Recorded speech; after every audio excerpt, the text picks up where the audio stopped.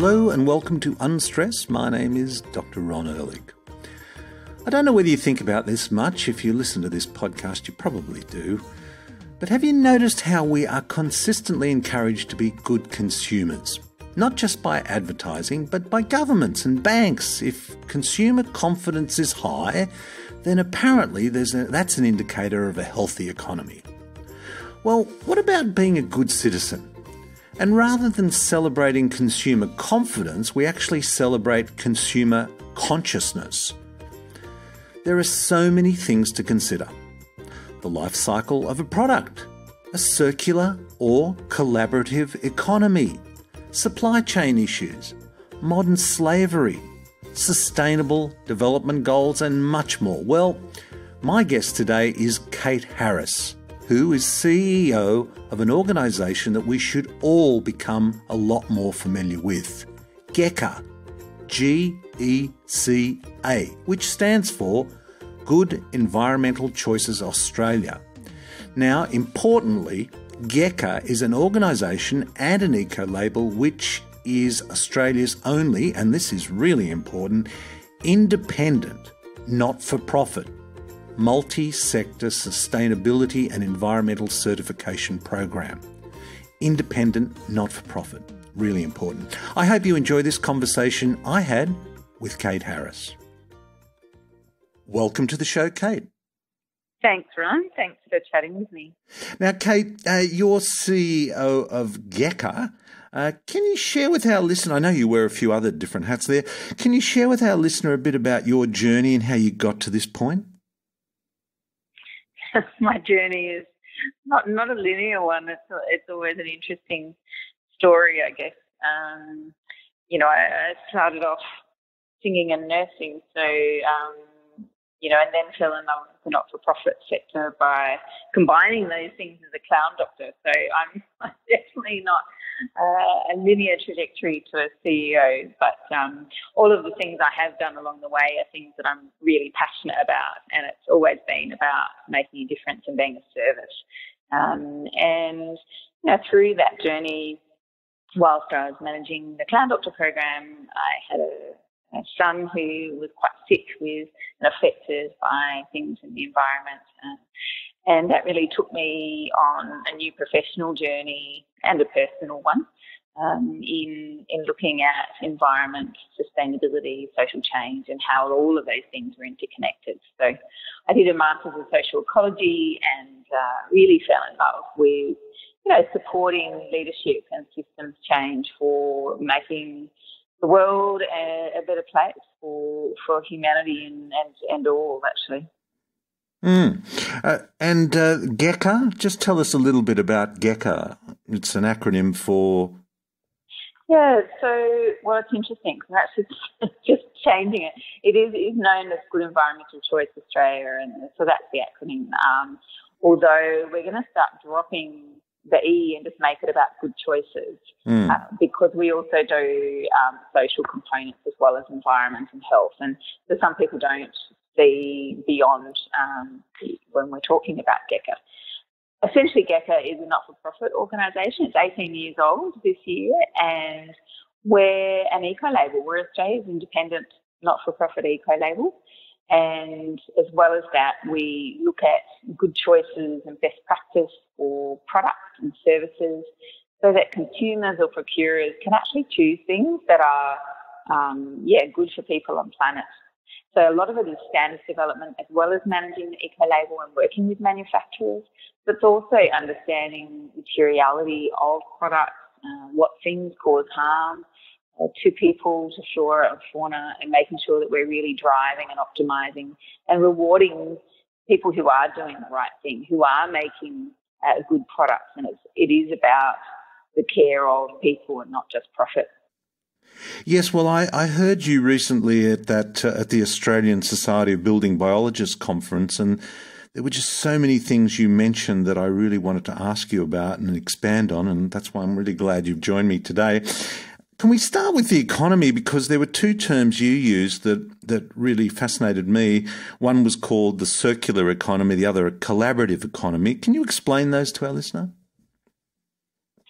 Yeah, look, well, circular economy is something, I guess it's been around for a while, but we really haven't actualized it. And it really is coming from the philosophy that our resources are limited. It's one planet living.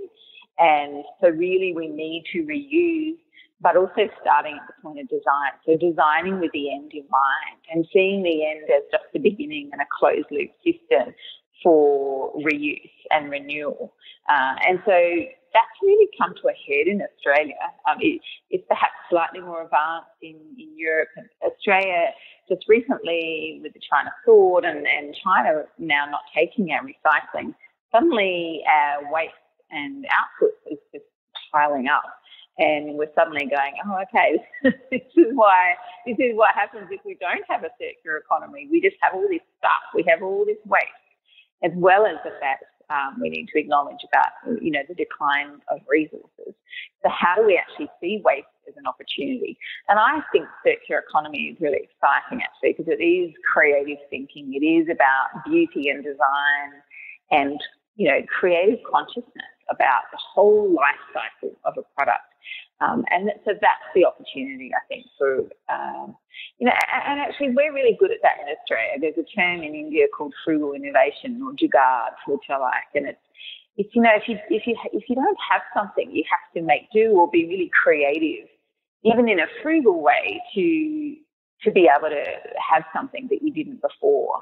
And from a pioneering perspective, from rural Australia perspective, we also see frugal innovation. So it's actually something that we're naturally good at, but I think we've got a bit lazy on.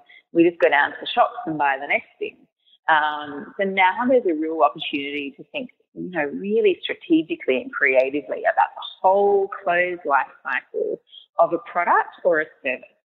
And that's where also service you see is changing. A lot of people are encouraging like the service economy, like GoGet, or, you know, just, just use a car when you want. You don't always need a car. Do we really have to buy everything? How can we be conscious consumers in another way?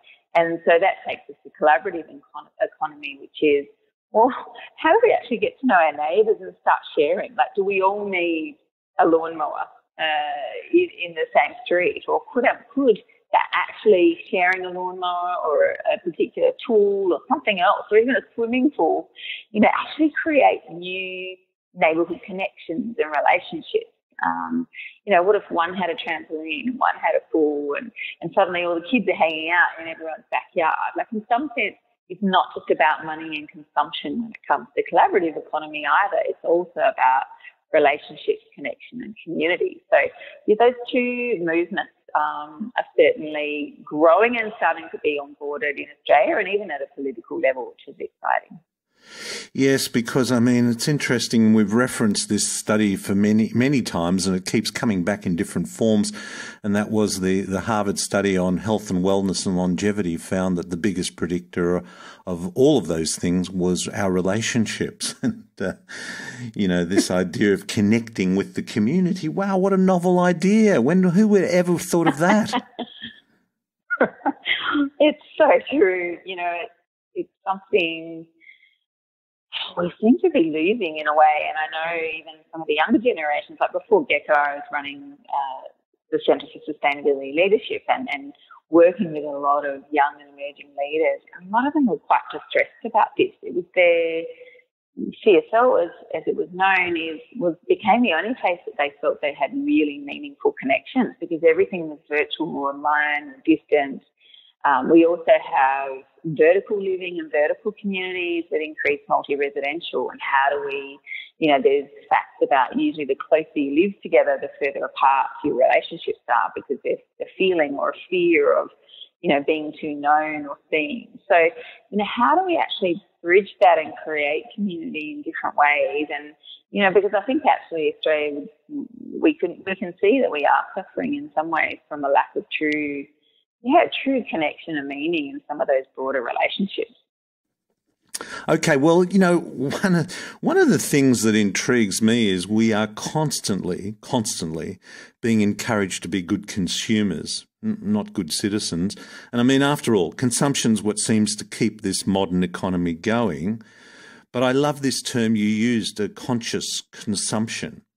How do we become conscious consumers?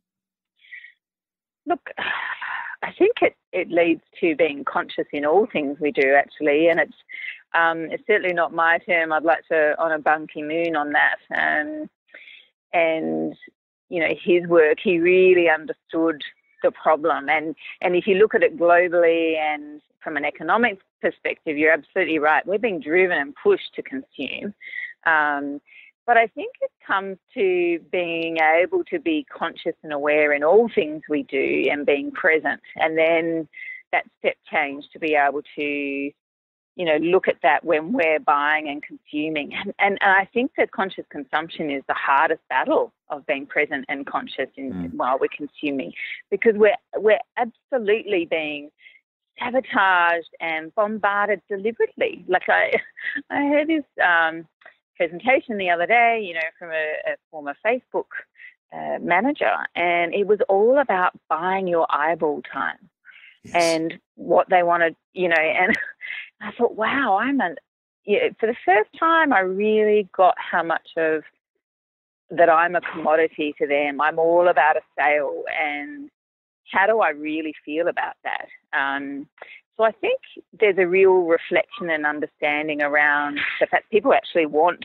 you know, want to just sell you stuff. There's not often a care about who you are or your well-being, and I certainly see that in manufacturing. Um, you know, there's a lot of people, you know, there's those who do care about it, and then there's those who don't, and they, it's just about the the profit. And so we need to do the work as consumers and advocates and governments to, you know, call that out and work together and have really clear messaging so people can make conscious choices. And I think that's the challenge too is, you know, unless you have that awareness of what's good or bad, you know, how do you know? Like I find that very much with, for instance, foam mattresses or, you know, furnishings. You know, most people don't know the difference between a, you know, and it's not necessarily price actually, but you know, but as an example, if it's a really cheap couch or an expensive couch, do they really understand what those differences in or what's in their mattress they're sleeping in? Um, you know, some of the manufacturers don't want you to know what that's doing to your body, your health, you know, your mind, your spirit. So mm. we really do have to work together to sort of fight that together and have that information clear.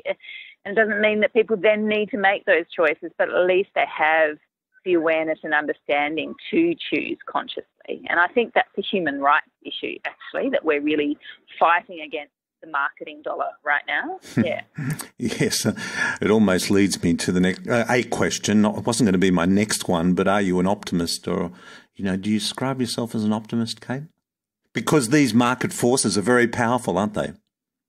They are very powerful, and I've worked with a lot of advertising. Uh, successful advertising agents actually who've gone to the other side and they said they couldn't live with themselves anymore. Hmm. And I've, you know, there was one in particular who was driving past a billboard and he looked up and he knew that he'd designed it. And he thought, my God, I'm actually you know, I'm really, really, truly manipulating people in that, and I can't do it anymore. And pretty much resigned the next day, um, and mm. now still works in sustainability. Mm-hmm. Um, and so, you know, optimism, pessimism. Yeah, look, I, I, I fluctuate between the two. I used to be very much an optimist, and I think most of the time I am, but I get frustrated. Um, I'm not pessimistic, I just get frustrated. Um, because for me, I see it as common sense and I, I see human rights and what's happening and I go, gosh, why is it, why aren't more people aware of this or having this conversation? Or, you know, a lot of people say to me, but surely our government wouldn't let that happen. And it's like, well, mm. you hmm. know, there's minimum standards, but sometimes that's not enforced either. You know, it's, mm it's not just their responsibility. Like this stuff is happening even in Australia. Um, but where I am optimistic is human potential. I absolutely have faith in beauty and people and connectivity um, and our ability to make a difference together. And so I do think that that connection to ourselves, to our environment, and to each other is remains and and you know, will be rekindled. A lot of people in, you know, sustainability say it'll come at the nth hour, you know, as, as, as, as we all can't take anymore. And I think, I think that would be sad if we had to wait to that because I don't think we have to. But if we do get to that point, um, I do have faith that we will, yeah, we will come through and humanity will prevail. Yeah, I I I, th- I share that view too. I and I think if uh, you know knowledge is power, um, then empowering people with knowledge about what how and what they are consuming is a very big part of that because it seems like consumption is such a huge part of our lives. Absolutely, and so you know, I guess it's the fight on greenwash is how to really clearly communicate, and that's our challenge. You know, um, mm. most people in the general consumer market don't know GECA, and that is because we very much have been in the built environment because that's where it's been valued by procurers and consumers for green building schemes. Mm. I mean, that's fantastic. But we, you know, we all have a role to broaden that to, you know, general consumer information and have very clear, credible standards and mechanisms for people to go, oh, look, I don't need to know, I don't need to be a scientist. I don't need to know everything about that because this stuff is really complex. but I do know that someone who who is trusted, who's hmm. independent, mm. you know, who is transparent around it, has given it a, a label.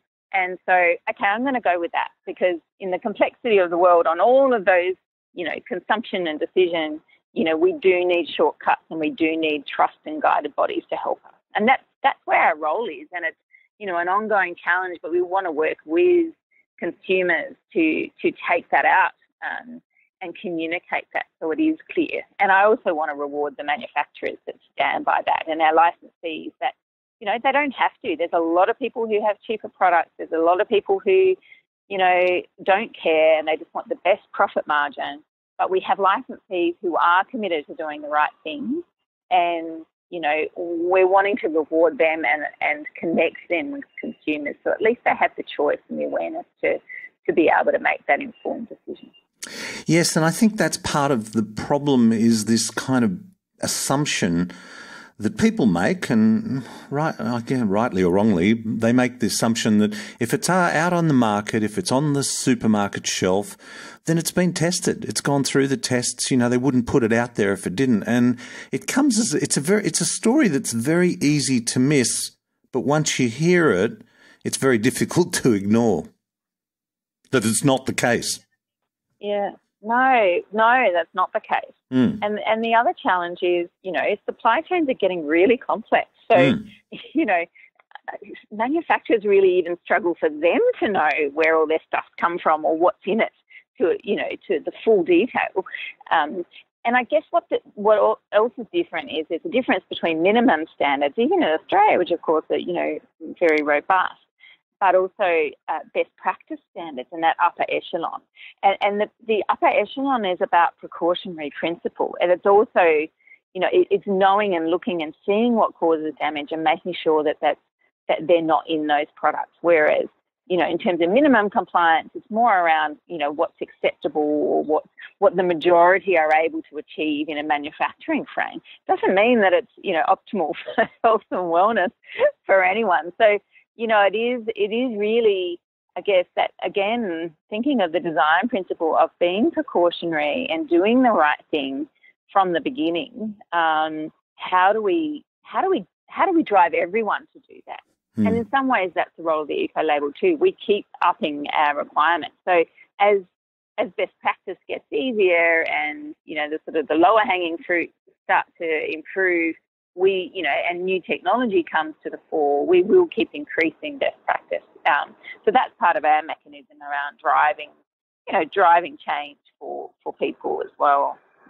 Now, another thing you mentioned uh, was the challenges of supply chain, and, and you're talking about life cycle uh, of a product analysis, and design is obviously one thing.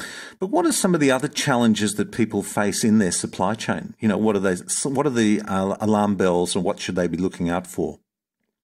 Oh, look, it's I think the, the challenge is it depends on what kind of product, and that's where our type of label or a true eco label, the ISO 14024, is important because it's not generic. Um, so, what I think people need to look out for actually is, is something specific to the product or service. There's a lot of things right now that says, you know, like about like an organizational level or, you know, we do good or, um, you know, a good, a good healthy CSR report, you know, but actually that that might not be what's core to your impact or or uh, what impact you're having actually by by buying that. So it can be material. I think the biggest thing is asking what is material to this product or service I'm buying. So if it's a foam mattress, you know, what do hmm. I know about what's in it? Where has it come from?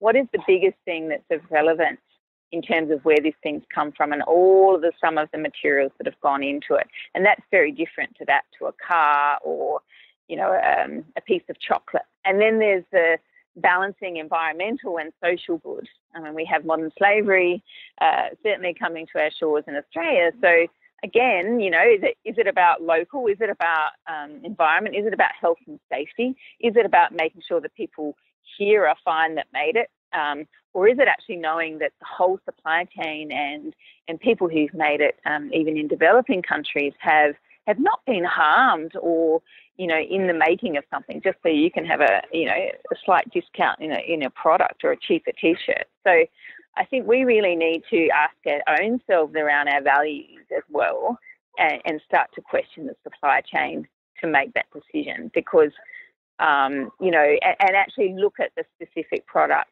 maybe dig deeper than just the actual company that's selling it. Mm. Because I mean, there's some real, I mean, there, there, are huge challenges there in our global economy, isn't there? Because regulations across borders vary so much. They do, and it's something that our eco labels are really trying to work with. So there's um, an organisation called the Global Eco Labelling Network, um, of which we're a member, and I'm on the board. And you know, there's many countries with the national eco label. A lot of them government owned um, and run, and where we all have our own standards, and they're, all of the same type, and they're very similar. But of course, there's those subtle differences around thresholds or, you know, acceptability of a VOC or a type of dye in a material. And so, how do we work with that and negotiate that? Because this is a huge trade issue, and you know, we do have global supply chains now. you know, it's it touches often, you know, 15, 20 countries before before you're holding it in your hand. So to actually even access that information, we're looking at, you know, how do we how do we have more transparent um, and and true knowledge through things like blockchain? How do we share that data? And actually, how do we sort of fight the fight together? Like there might need to even be a bit of compromise between acceptance and working together within all of our standards, so that we can kind of move towards a more um, transferable, equal, global eco label level. And I think, you know, because we are a global consumer these days, you know, we are moving towards that. And there's a lot of um, United Nations Environment are working with us to, you know, help that harmonisation of schemes as it's known. Um, but it's not easy, and it's, you know, of course, we all have our own um, national concerns and also differences. You know, water is it, you know, even us working with the New Zealand eco label, you know, for New Zealand, water is not an issue. So it doesn't usually come up in their standards, whereas for Australia, in a large part of our manufacturing, and as we very well know at the moment, you know, water is a huge issue. So they are part of our standards where it's impactful. So, you know, it, it is really complex and we're trying to make it simple, but we do absolutely need to work together um, in, in, on a global level uh, to coordinate and systemize this. Because mm. these environmental issues are actually, while we are starting to think a little bit more nationalistically recently, um, their problems don't just stop at borders, do they? I mean, pollutants don't go, oh, this was created in this country, let's just stop right here. It doesn't quite work like that. No, it certainly doesn't. And I think, you know, we also have that problem where some people, you know, we're looking at it with modern slavery as well. Or Some, mm. you know, some people are generalizing and think, oh, well, you know, a lot of people will say to me, well, anything out of China is crap. Like, quote, end quote, will be really blunt around it. And I say, mm. well, actually, that's not true. That's really actually not true. And, you know, we have manufacturers and licensees here who uh, manufacture in China as well. Um, they might, so they'll do it here and in China, and they'll do it to their level here. They're, you know, China is doing, their government is mandating eco label, and that's that's a game changer. As soon as your own government goes, you know what? We need to use our own eco label. Why? Because we know that buying best practice and reducing environmental and, and health and harm to our people is going to, number one, be the right thing, but also number two, you know, economically save us money on the long, on the mid to long term. So some of it's about long term thinking and carbon and climate change commitments, which very much fit in, you know, product manufacturing as well. There's some great leadership in some of these countries that, you know, we're I think we're sometimes assume in Australia that, you know, they're not doing such a good job, and it's just not the case. Mm-hmm. Now, I heard you say that at that conference, and I was really encouraged by that. That you've seen some very positive things come out of China, which, which stereotypically, as you say, gets a bad rap. Yeah, that's right, and it doesn't mean that everything that comes out of there is is of that quality, but mm-hmm. there is certainly a very strong government mandate, and we've got you know countries like um, so we represent um, and worked with the Department of Foreign Affairs to represent at APEC in a green supply chain network. And that's about those, you know, large uh, and countries and economies within APEC working together to try and harmonise that, that, that very thing, that sort of green and healthy supply chain. Mm. And so China and Korea are very much part of that. And, and their governments are fully committed to um, ensuring that happens. And where other problems happen is things like, you know, there is you know, corruption or areas where there's less control sometimes can be more of an issue. Um, but they are also onto that and aware of that and um, committed to that. But I think also, you know, committing to your own eco label or procurement of best practice, whether it's an eco label or a full knowing the full data and impacts of a product like a life cycle analysis means, you know, in some level, you know, if our government is a conscious consumer, it really is a game changer. And and how do we then demonstrate that leadership is like a role model for you know the general consumer as well to then go right okay well it makes it more accessible more affordable more products come onto the market um, it's easier to identify and then everyone has everyone should have the right to be able to choose something that's you know healthy and good for themselves and their family. And and in your dealings with governments uh, both federal and state in Australia are they coming on board? I think I think there's some you know some challenges and there's also some some optimistic movement. You know, our, our government has committed um, to the SDGs, the Sustainable Development Goals, which is great, and we are reporting on that. I think there's a lot of um, delegation to civil society like ourselves to do this for them, and I would like a more coordinated cooperative way to work with them because I think it, it actually needs to have some level of partnership rather than, than delegation. Um, so I think you know there's there's opportunity for improvement. Um, now that's probably at a federal level. Um, circular economy, the New South Wales is just um, releasing a policy on that and really taking that seriously. So that's great to see too.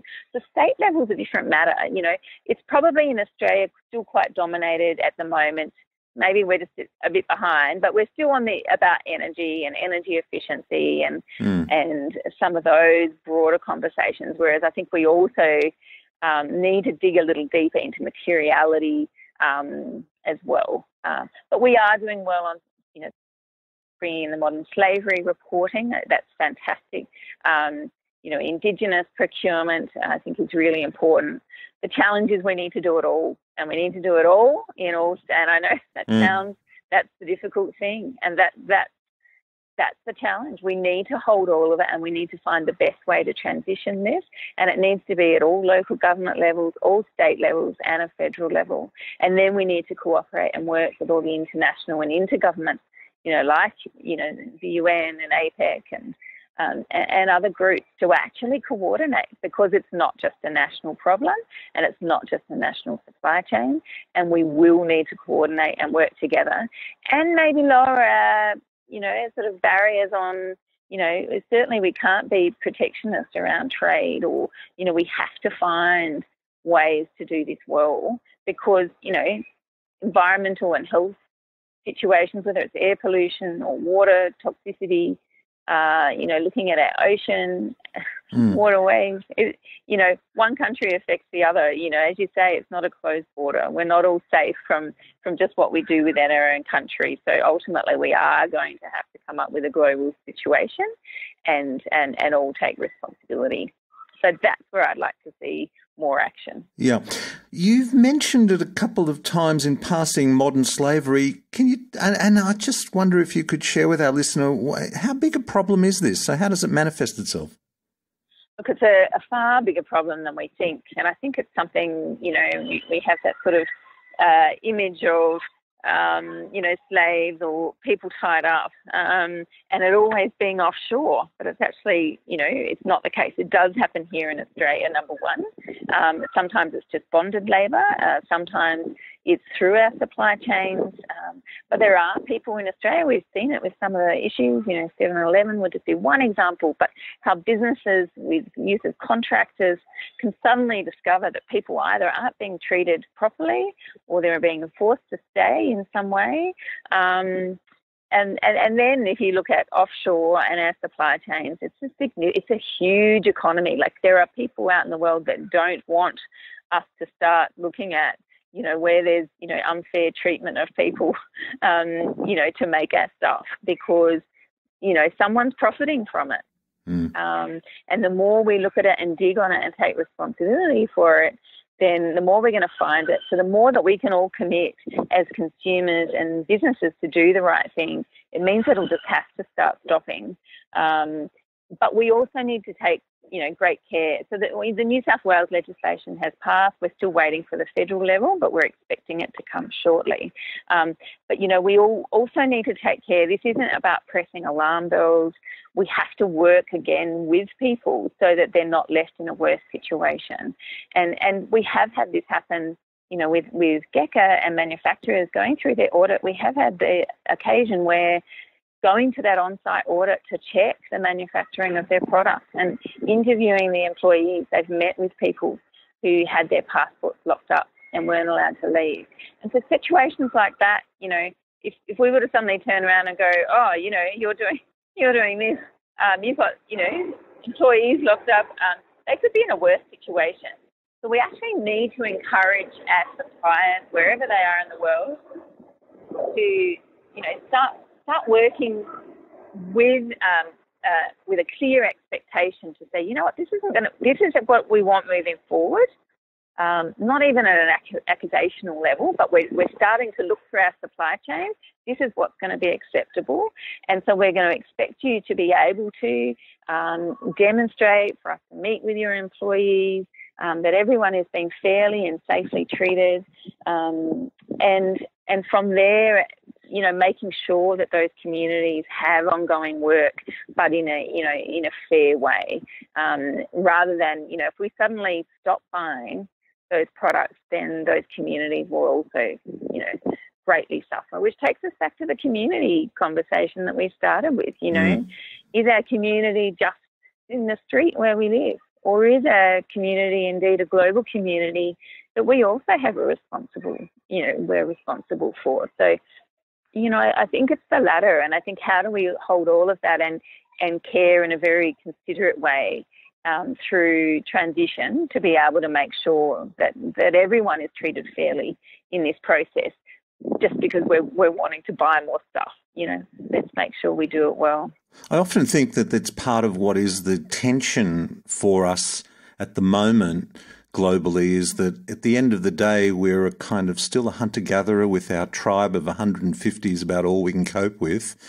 And yet we're being asked to think globally about, and, and it's undeniably we're globally connected. And it's almost too much. So we have to think nationally. Let's get nationalistic about it. It's kind of this, this tension that goes on between acting locally and being in the community and tribe and yet having to think globally. And we have to. Yeah, and I think that that you know, think global, act local, local approach is you know a good motto for that. I think it is something we challenge with, and I I think 150 is something we struggle with now too. Actually, I you know I think as um, fear fear comes and unknown and pace of life and expectation, and some of that goes back to marketing and consumerism and size of house and you know what we should all be providing. Um, you know, as well as being you know you know, we are a global community anyway because a lot of people move around and don't live, you know, where their parents or grandparents are anymore. So, but but I think as all of those pressures come, somehow, you know, that that sense of need to protect self as the hunter gatherer is becoming stronger, mm. and I think I think that's what I'm seeing, and maybe is the more the concern for me um, is, you know, we're not you know, we have to look after them more than ourselves, as well as hold the fact that it's challenging, that, you know, there's, you know, huge expectations, there's economic challenges, there's environmental challenges, there's work challenges, there's family pressures, there's you name it. We all know that life's getting faster and more stressful, also that it feels. But how do we also, you know, um, well, I'll tell you actually, that I'm also on the board of the Living Future Institute of Australia, and they just had a beautiful symposium, and they had a lovely speaker and kick off the event. Um, and she said, you know, to sum it up was, you know, keep calm and be generous. That's kind of all we can do. And I think, I think there's something really in that. Just, you know, amongst all of this, how do we be calm and continue at every challenge to continue to, to be generous and care for other as well as ourselves.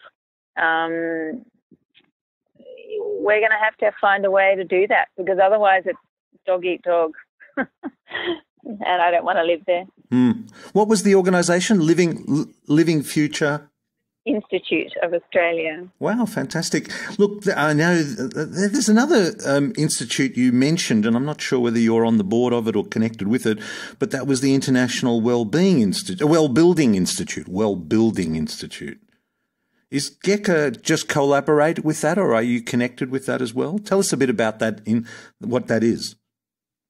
Yeah, look, it's a it's a wonderful building scheme essentially, and and they really are driving health and wellness, um, mainly in commercial buildings, but with looking for out for you know staff and employees of people who work in those buildings for so many hours of their life.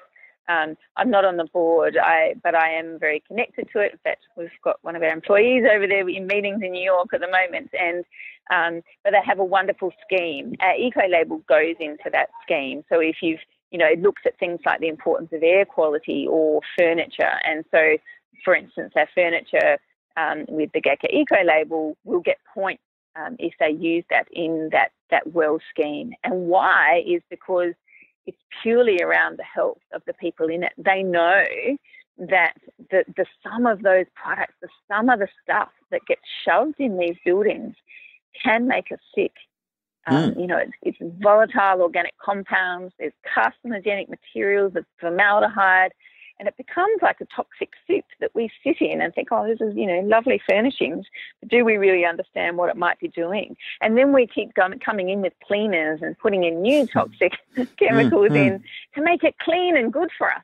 You know, again, are we really looking at what this stuff's doing to us? And that's what's fantastic about the well Scheme is that it's going, you know what? the health of people in these buildings matter. And, and we, you know, um, large organisations like there's a beautiful Mirvac building here in Sydney um, that is a, a, gold well rated. And, and it's Mirvac saying we care about our people.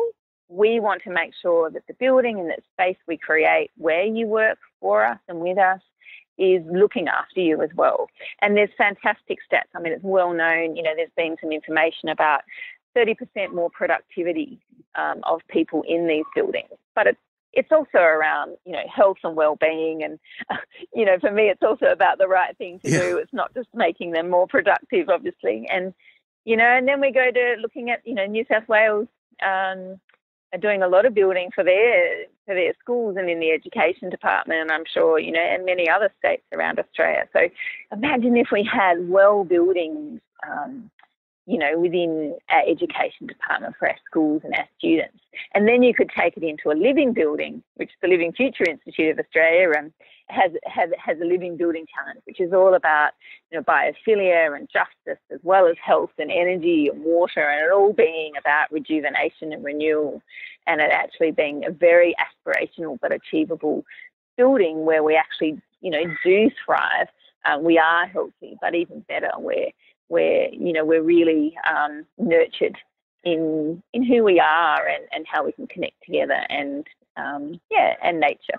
Mm. Now, another organisation, Kate, you're an absolute, um, you know, God, when I, when I heard your CV and all the things you were connected to, but here's another organisation that I do know about, and, and, I, and, and that's the One Million Women.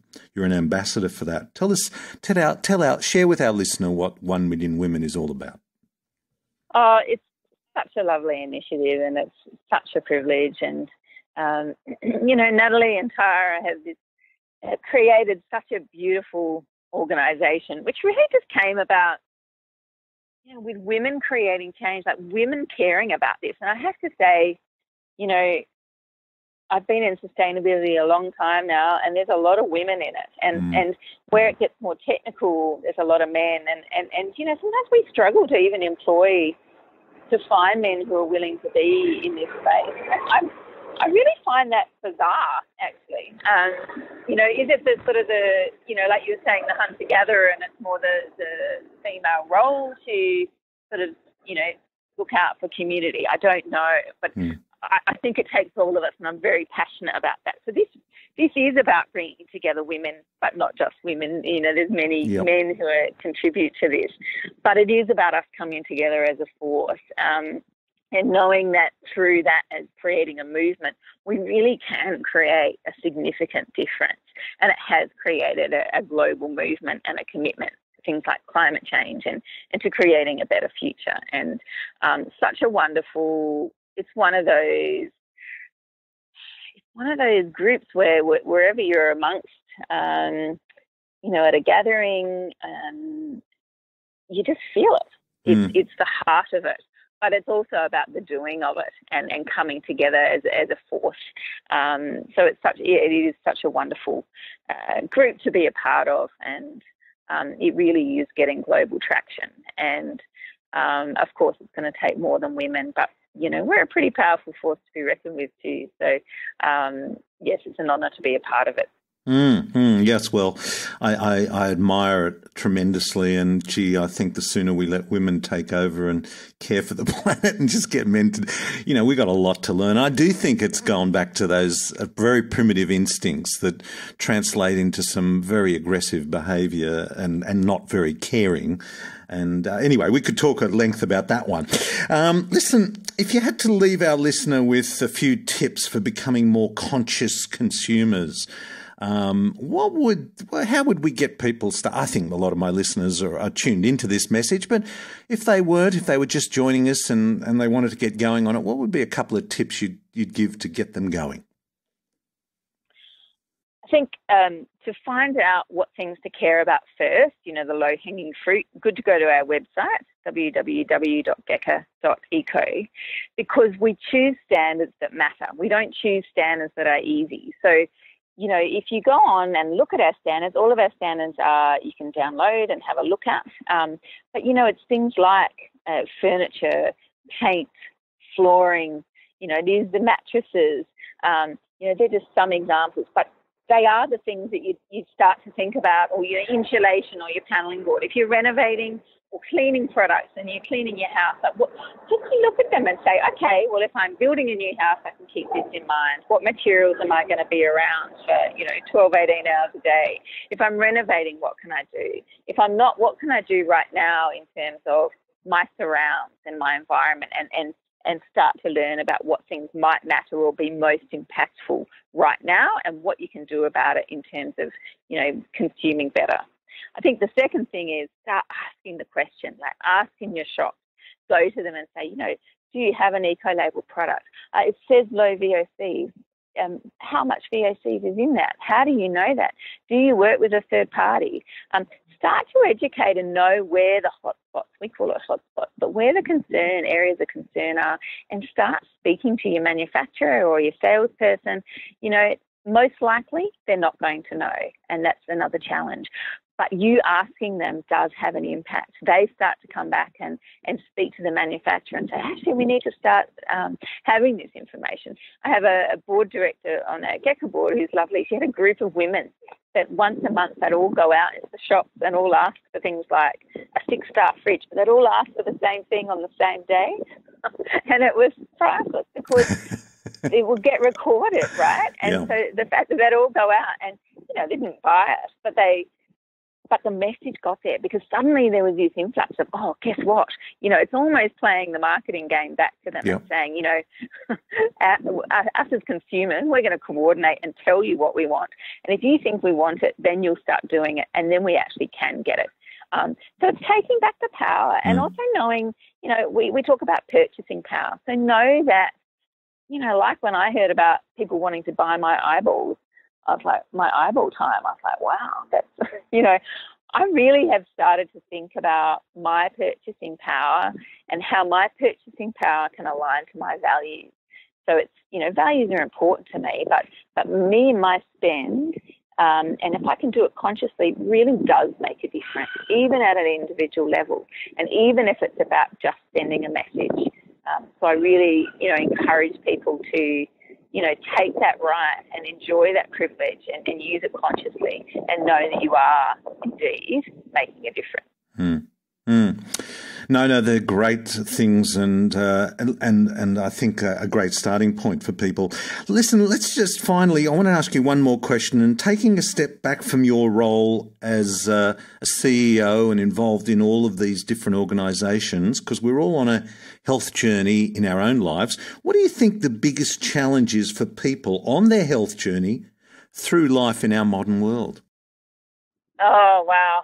Um, I think it is calm and present and, and, and establishing that. And, you know, it's a, it's a personal challenge for me as well. I have that challenge between busy life and trying to be out there creating change, the things I'm passionate about, which feels like I'm running around the world and being really busy.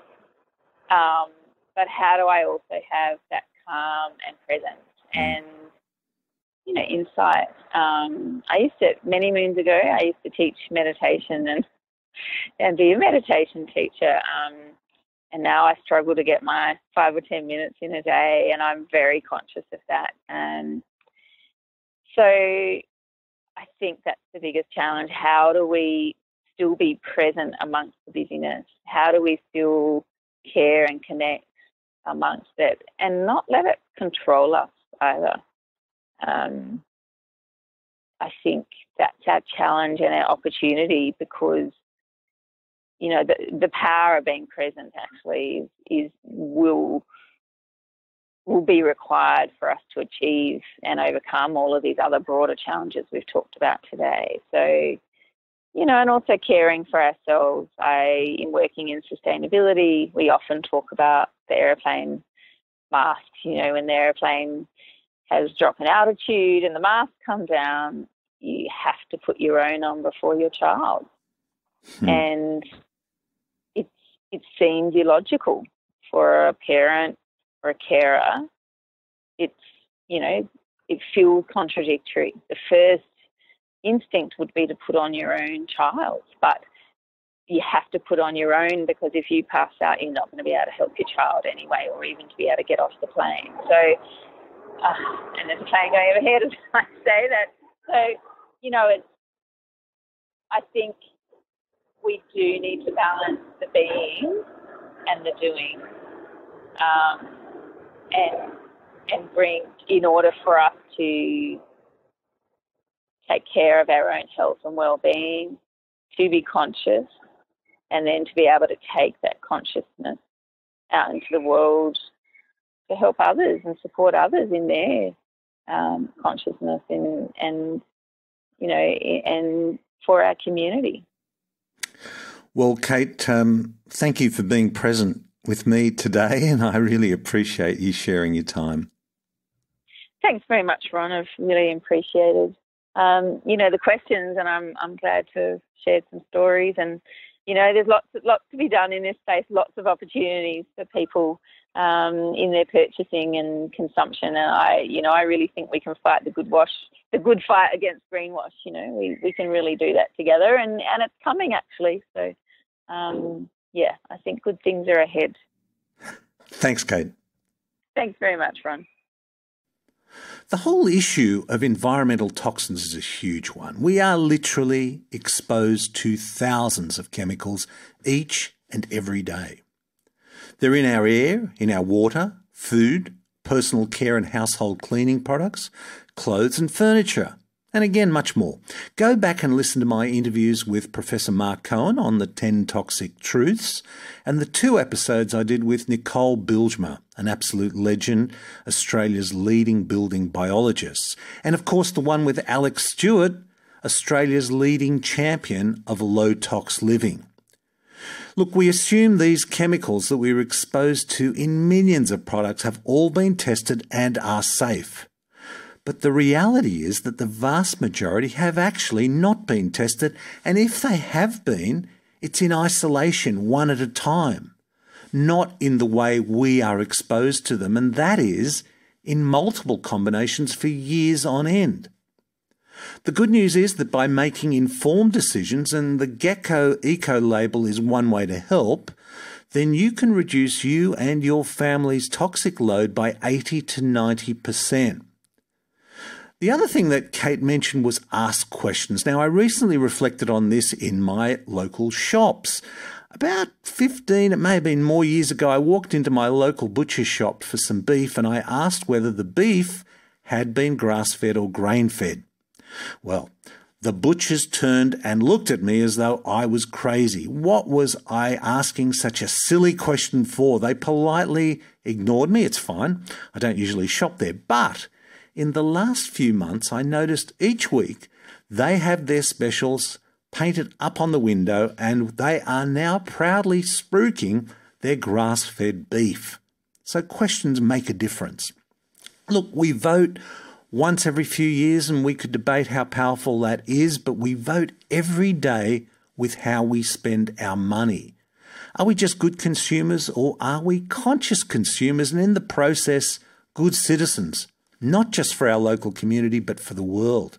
Mark Cohen said, We are all connected, so we are all affected. And we could go on to say, by every decision we all make. Remember, both Kate and I said we were optimists, and we mostly are. In planning nowadays, also, we hear about the triple bottom line. That usually means social, environmental, and financial factors need to be considered in good planning. But I would argue that there is actually a quadruple bottom line, adding one other very important factor. In fact, uh, you could argue this really is just the bottom line, and that factor is health. Not just our individual health, but the health of the planet. The two are inseparable. We will have links to the GECA's site and also to the 1 million women, which I'm really keen to explore in another episode. So, until next time, this is Dr. Ron Ehrlich. Be well.